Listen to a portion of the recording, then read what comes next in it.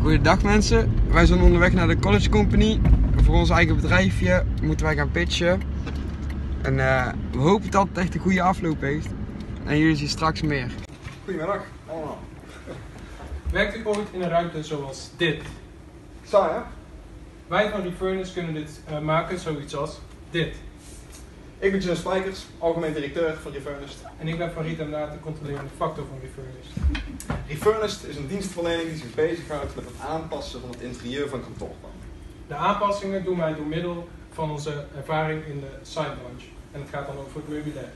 Korte samenvatting van de signbranche, we plakken stickers.